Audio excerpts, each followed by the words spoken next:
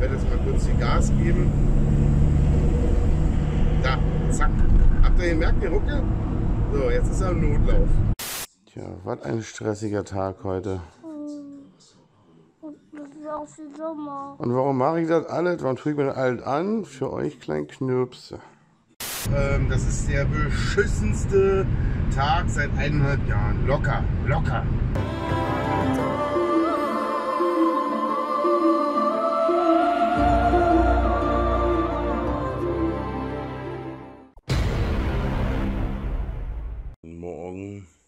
Es ist Dienstag, halb sechs.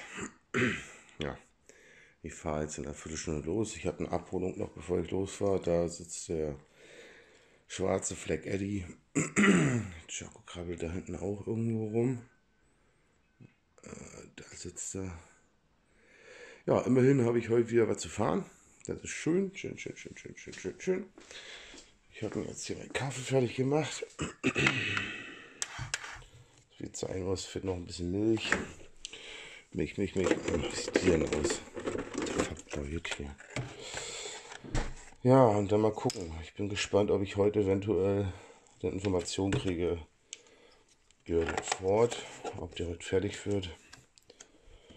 Gestern kam ja raus. Äh, ach so, ja, ja, genau. Gestern, wo Montag war, brauchte ich nicht fahren. Ich wurde beliefert. Nicht umsonst aufgestanden. Und gestern kam raus, die müssen den Motor leider rausnehmen. Die kommen mit der Magnetbohrmaschine nicht ran. Komm schon, zu, ja. Naja, jetzt werde ich noch Etienne wecken, der muss gleich aufstehen und dann jetzt ab auf Tour.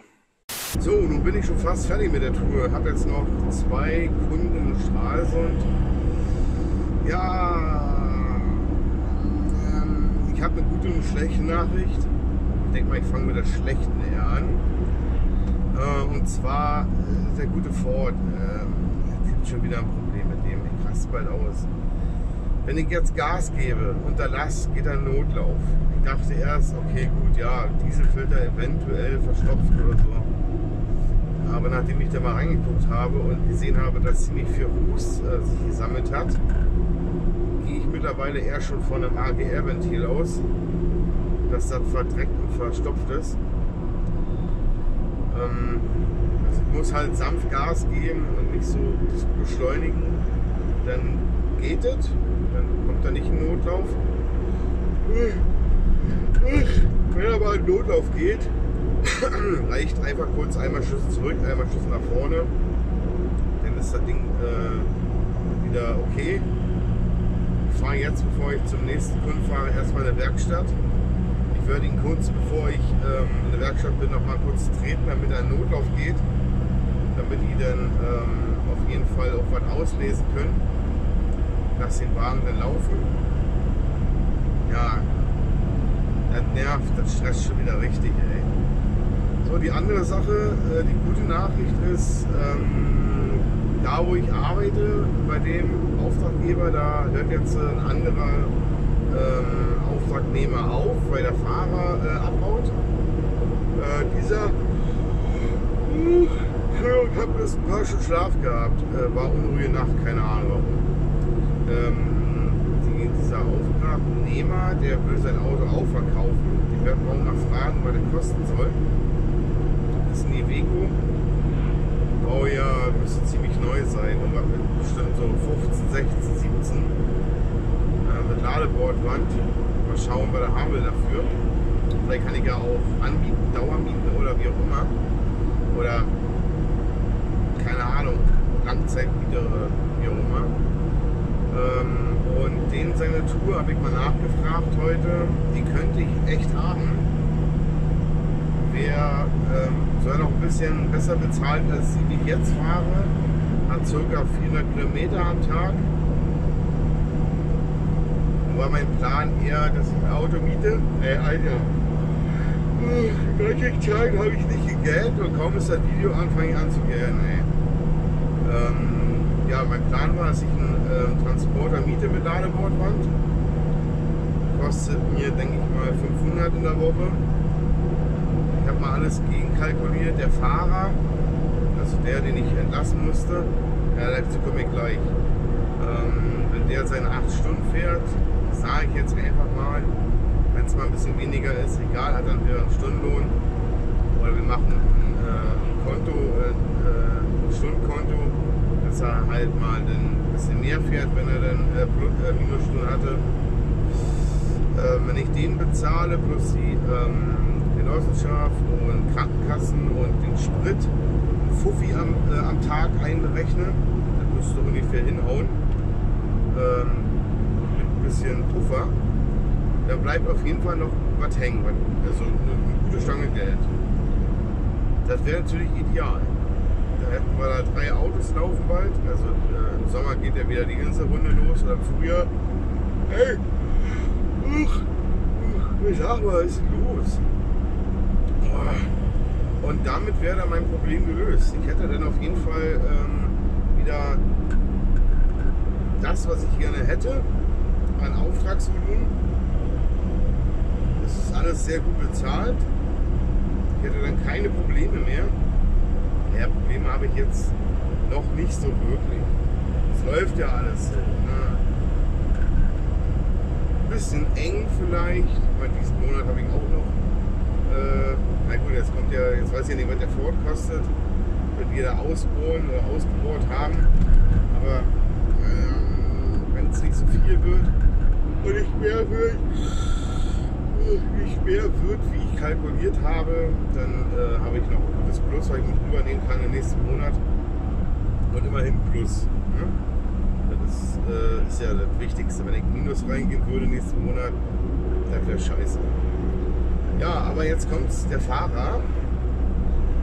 Ich habe gesagt, ich, ich werde alle Mögliche machen, um eine Tour für ihn zu kriegen. Er ist jetzt seit 50. raus, also ungefähr eine Woche. Jetzt habe ich also schon jetzt was Neues für ihn. Fünf Tage Woche, Vollzeitjob, äh, sechs Kunden am Tag vielleicht, ganz entspannte Arbeit. Und er sagt, ja, ich weiß noch nicht, keine Ahnung. Er hat ja wohl noch Vorstellungsgespräche. Alles okay, keine Ahnung, ist kein Problem. Aber wenn er unbedingt weiter Fahrer werden wollte und ich ihm jetzt die Möglichkeit gebe, dass er sofort wieder nächste Woche einsteigen kann, warum noch lange rumklaren? Gut, vielleicht will er gucken, was noch zu holen ist, woanders. Aber ich kenne und ich habe wieder das Gefühl, dass er sich noch nirgendwo beworben hat. Keine Ahnung. Wenn er nicht will, dann gucke ich, ob ich jemand anderen finde, der möchte. Und ansonsten äh, lasse ich es halt sein, dass ich die Finger von. Wäre doof, wäre schade, wäre auf jeden Fall ähm, gute Stange Geld, die flöten geht. Aber ich werde jetzt mal kurz die Gas geben. Da, zack. Habt ihr gemerkt, der Ruckel? So, jetzt ist er im Notlauf. Ja, lassen wir mal einen Notlauf. Ich bin ja bei den Stralsund. Äh, das ist. Es kann eigentlich nur der Turbolader. Ich weiß nicht, der pfeift aber. Na gut, jetzt arbeitet er nicht, jetzt ist er im Notlauf. Das nervt so, Alter. Immer was Neues. Meine AGR-Ventile kann man ja reinigen. Das ist ja nicht das Problem jetzt. Scheiße, wenn es kaputt wäre. Oh, ich halte Himmel kaputt gehen. Naja, egal. Das ist jetzt erstmal der, der Stand vom Dienstag. Ich werde danach nochmal, wenn ich bei der Werkstatt war, nochmal ein kurzes Video machen, was rauskam, ob wir was auslesen konnten. Und wenn nicht, ja, scheiße. Dann geht diese Scheißsucherei wieder los. Äh, ich hoffe, dass wir heute noch was machen können dass ich nach der Tour nochmal hinfahre und dann die Probleme löst wird, wenn sie wissen, was los ist. Ähm, ansonsten muss ich mich morgen damit auch nochmal äh, rumquälen. Man ist ja kein Quälen, ja, man fährt ein bisschen sanfter. Spritverbrauch, muss ich sagen, ist aber auf jeden Fall. Ich dachte immer, ich fahre schon sehr sparsam, aber da ist nochmal äh, richtig gut. Ich habe jetzt 186 Kilometer und habe einen achten Tank erst verbraucht. Das wäre ja wär Bombe, wenn das immer so wäre. Aber mal gucken. Wir warten mal ab, ne? So, gut, dann cut und bis gleich. So, okay, also, jetzt bin ich fertig mit meiner Tour. Inselzeug macht Claudi. Hab noch eine Abholung gehabt jetzt von 30 Kilo. Mhm. Das ist sich angefühlt wie 80. Und keiner ist da gewesen. Muss ich alleine drin schleppen. Naja, egal. Ich war bei der Werkstatt. Wir haben ausgelesen und da steht ähm, Rail, Rail irgendwas hier, äh, äh, Druck zu hoch. Der war zu hoch. So, so. Putzauto hier. Äh, ist zu hoch. Das kann jetzt entweder die Railpumpe an sich sein, was ich nicht glaube, weil dafür läuft sie zu gut. Sie hat 75 Kilopascal, heißt es glaube ich. Ähm, 70 dürfte sie haben bei zweieinhalbtausend Umdrehungen. Wir vermuten wohl eher der Sensor. Leider äh, haben sie erst Freitag Zeit. Kotzen, ey. Ja. Muss ich halt erstmal bis Freitag damit klarkommen. Es geht ja. Sag mal, wenn ich bis zu maximal 2000 Drehungen fahre und dann schalte, passiert nichts. Damit kann ich arbeiten, definitiv. Und Notlauf, ja mein Gott, äh, selbst im Notlauf geht's. Dann ist das Überholen zwar beschissener, aber ich muss ja auch nicht immer überholen. Ist ja nicht unbedingt ein Muss. So. Ja, fasse ich also zusammen. Dienstag 50-50. 50% Scheiße wegen dem Ford. 50% gut wegen äh, der Möglichkeit des neuen Auftrags. Aber irgendwie, ja, mein Ex-Fahrer, keine Ahnung, klart sich nicht aus, reagiert nicht. Ich höre meine Nachrichten jetzt zwar ab, aber ich weiß nicht, was das soll. Dann kann er mich im Arsch lecken, ganz ehrlich, ey.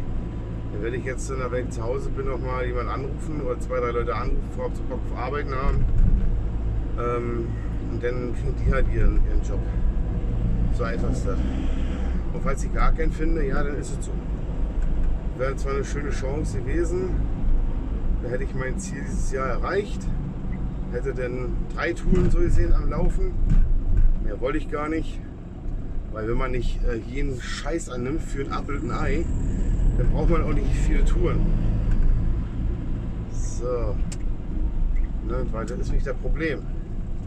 Wenn ich überlege, damals die 30, 40 Posttouren, die ich hatte,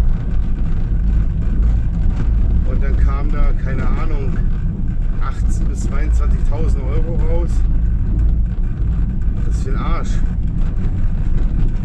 Jetzt äh, würde ich hier fahren.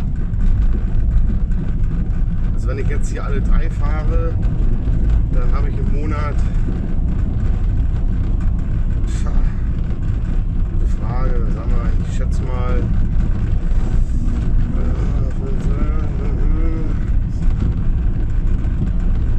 ja, 13.000, sag ich mal, mit drei Autos und drei Touren. Und damals hatte ich, äh, wo ich alles Mögliche gefahren bin, Hermes und, und Post und bla, da hatte ich äh, teilweise bis, äh, bis zu zehn Fahrzeuge und mehr laufen.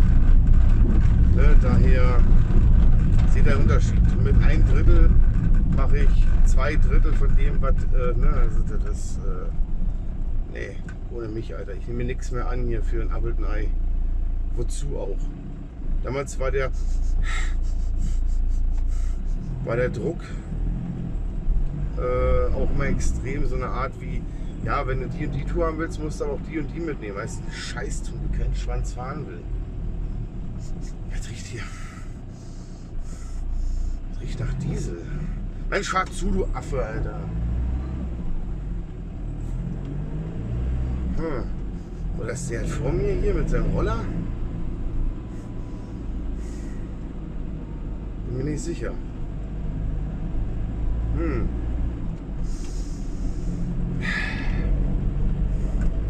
Der qualmt ganz schön hier vorne, der, der Roller. Vielleicht stinkt der hier so bestialisch. Ich werde ihn mal ausweichen. Ich weiß nicht, keine Ahnung, ob der Geruch jetzt hier aus dem Auto kommt.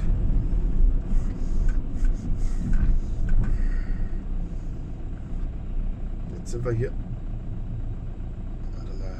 Die Motor lauschen.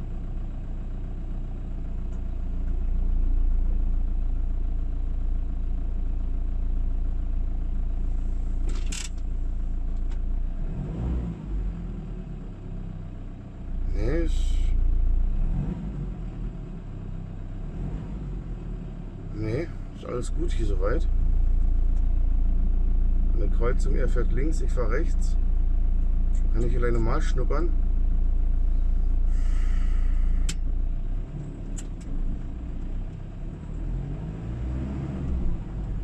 Nee, Jetzt fährt er der Arsch. Ich glaube, das kommt aus meinem Auto. Nee, jetzt ist es wieder weg.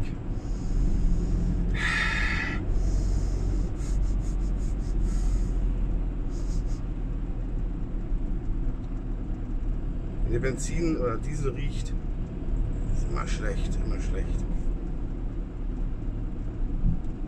Mal geguckt, die Nektoren waren trocken. Letztens, also vorhin, vor, weiß ich, gefühlten zwei Stunden. Da war kein Furz zu sehen, hat auch nicht nach Diesel oder so gerochen. Hm. Jetzt ist er weg.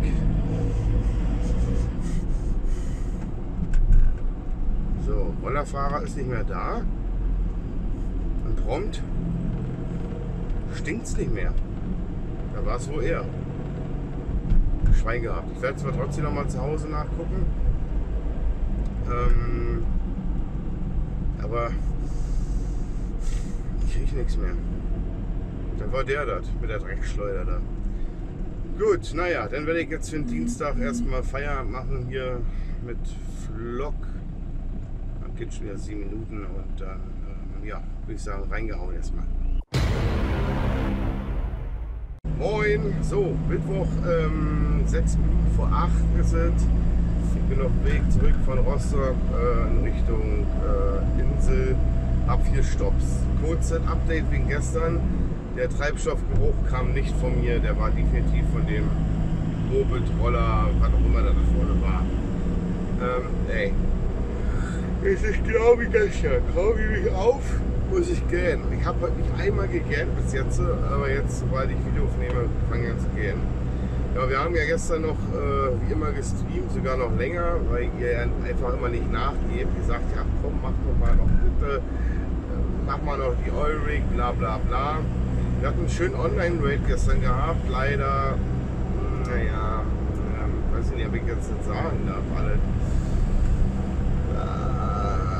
Will daraus ja ein Highlight machen, ach egal, ja, es hat nicht ganz geklappt. Ne? Es, es, fünf Punkte haben gefehlt von der einen Tür und äh, Counter Raider war auch noch da, den habe ich aber auch noch weggefetzt.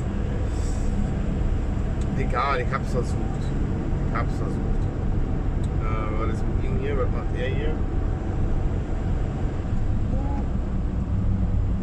Ja, ähm, was soll ich jetzt sagen? Was soll ich jetzt sagen? Was soll ich jetzt sagen? Mit dem Ford, genau, mit dem Ford. Ähm, ich habe jetzt meinen Weg gefunden mit ihm. Ich komme klar, ähm, trotz dieser Problematik, dass ich, wenn ich beschleunige, eher Notlauf geht. Ich muss einfach ähm, unter zweieinhalbtausend Umdrehungen bleiben. Dann kann ich ihn auch ohne Probleme volle Pulle bis dahin fetzen. Passiert eigentlich nichts. Zumindest habe ich jetzt äh, noch nicht gehabt, das Problem, dass da was passiert ist. Dass er in Notlauf gesprungen ist. Oh, Bein, Bein, Bein, Bein. Sollte vielleicht nicht unbedingt bei 50 km/h äh, im sechsten Gang anfangen zu beschleunigen. Aber seht ihr, ähm, das Mai zum Beispiel, passiert auch nichts. Also es kann nicht die Hochdruckpumpe sein.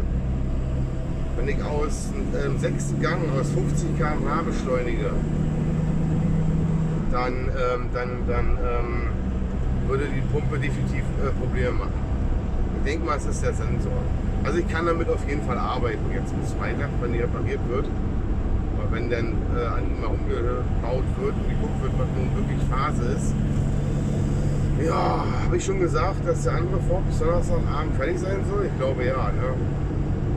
Für euch ist der bloß ein paar Sekunden her. Für mich ist der Tag ja, äh, ne? gestern war ja Dienstag, heute ist Mittwoch. Ja, gucken. Heute will die Familie noch zu Karls Erlebnisdorf oder Erdbeerhof oder wie sie jetzt schimpft. Kennt vielleicht der ein oder andere von euch.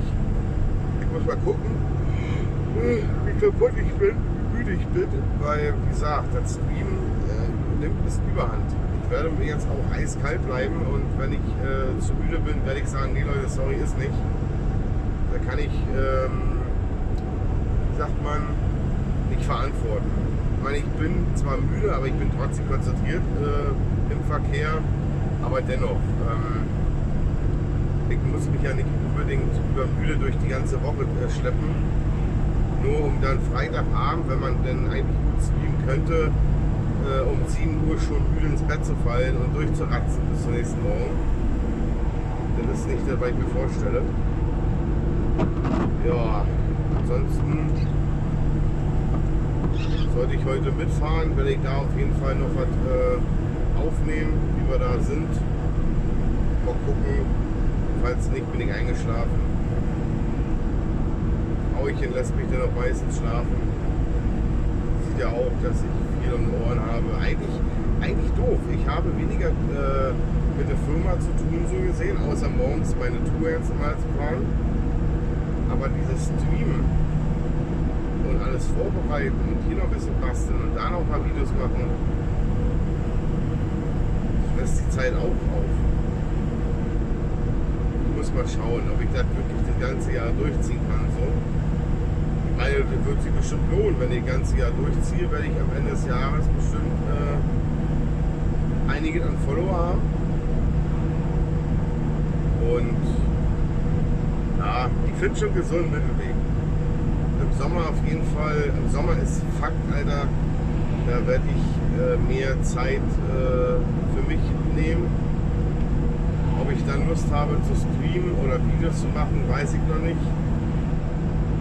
Ich werde mal komplett nur an mich und die Familie natürlich auch denken, aber auch mal wirklich äh, halt auch die Zeit, wo ich dann komplett äh, nur an mich denke.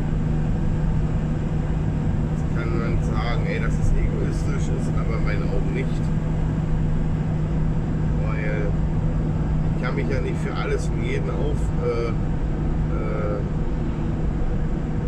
aufreiben und selber nachher dann äh, auf der Strecke bleiben. Gut, naja, dann sage ich erstmal jetzt äh, reingehauen. Ähm, sollte noch was kommen jetzt von dem Erlebnisdorf, dann viel Spaß dann mit. Wenn nicht, denke ich mal, hören wir uns dann morgen am Donnerstag wieder. Tschüss! Moinsen, es ist Donnerstag und ich habe eine sehr gute Nachricht. Und zwar ähm, wegen meinem Ford hier und dem Problem, dass er in Notlauf geht ist weg. Keine Ahnung, ist einfach weg. Ich habe vorhin ein bisschen Gas hier und dachte mir, na, mal gucken, wann er wieder Not aufspringt. Passiert nichts. Ich fahre jetzt äh, 60, ähm, äh, äh, 80 im 6. Ich werde mal jetzt äh, den 5. schalten. Jetzt bin ich bei 70. Spätestens jetzt bei zweieinhalbtausend Drehungen. Bin bei 90. Bin bei 100. Bei 3000 Drehungen passiert nichts, gar nichts. Alles wieder IO.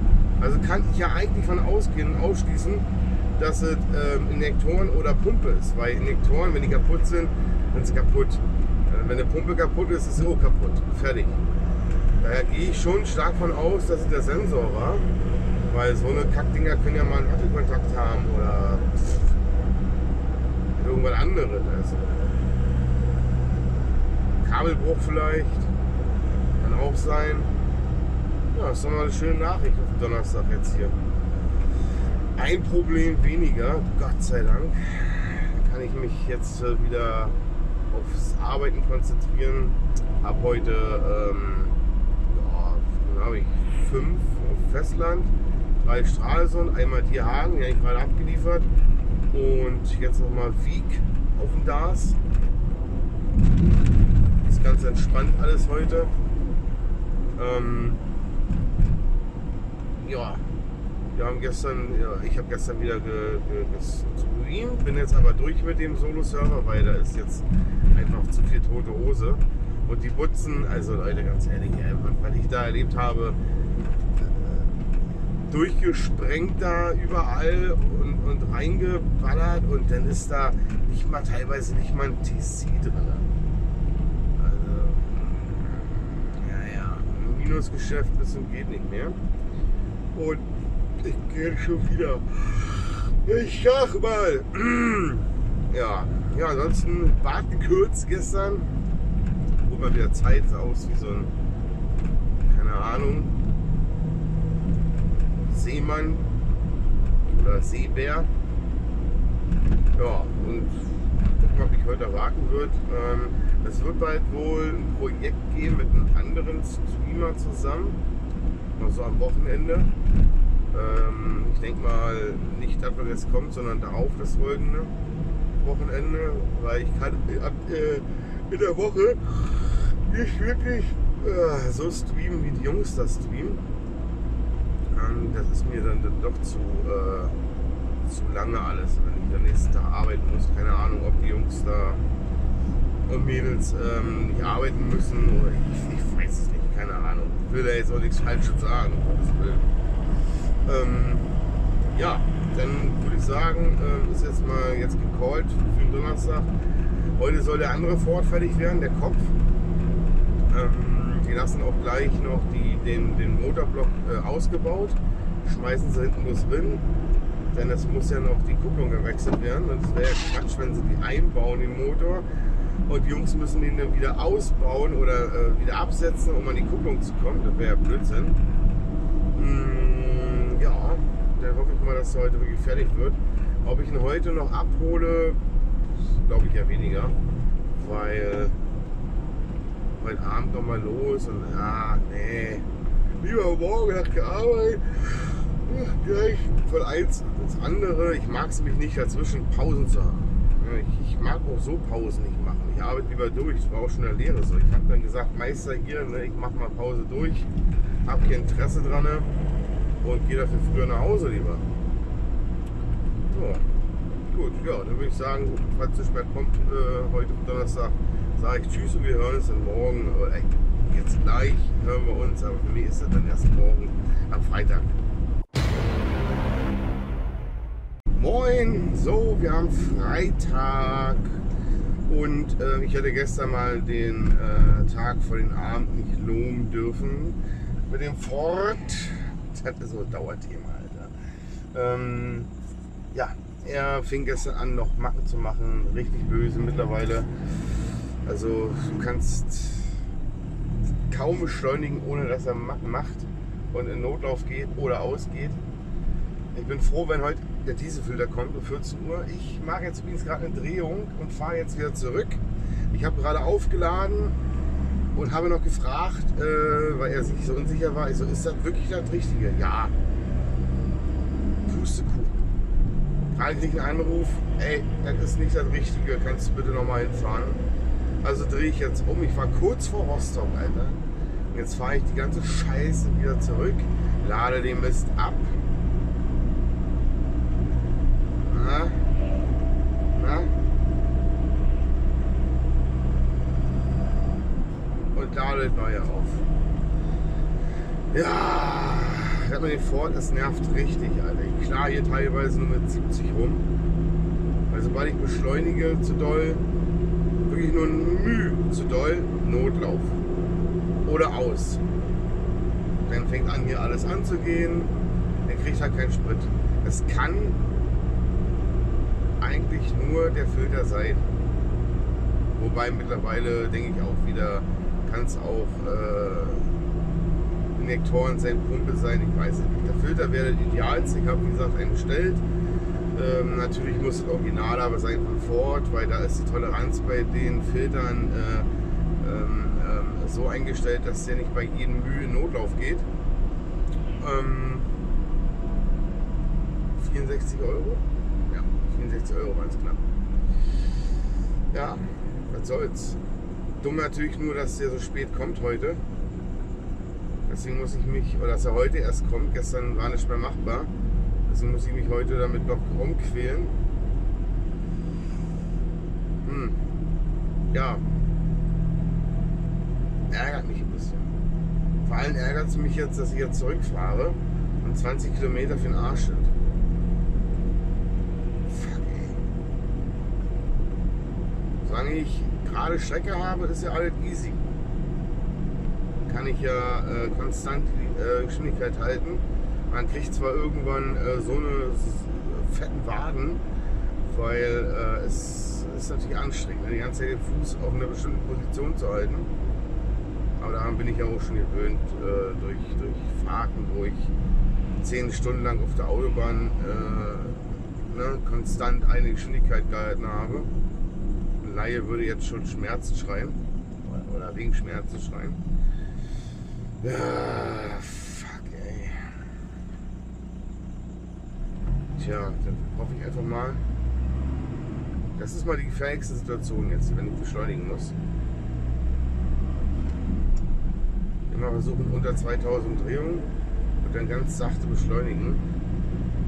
Weil sobald ich zu viel Gas gebe, rechnet natürlich der, äh, das, Steuergerät aus, jo, da muss jetzt so und so viel durch die Injektoren geschossen werden, was ja nicht passiert. Und dann kriegt er nicht und sagt, hey, Moment mal, stopp, hier stimmt was nicht, Notlauf.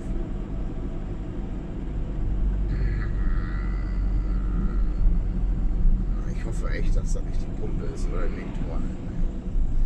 Ja, wenn es so ist, dann ist es so, dann muss ich sie halt äh, dann neu bestellen. Gut, dann mache ich erstmal einen Cut, mal gucken, was dann auf mich zukommt. So, ihr seht schon, ne? anderes Auto. Ich konnte mit dem Ford nicht mehr fahren, das ging nicht mehr. Ey, der ist mir ständig ausgegangen, ständig abgesoffen und alles. Und ja, jetzt hat mir Leihwagen geholt, ich blieb mir Bescheid übrig.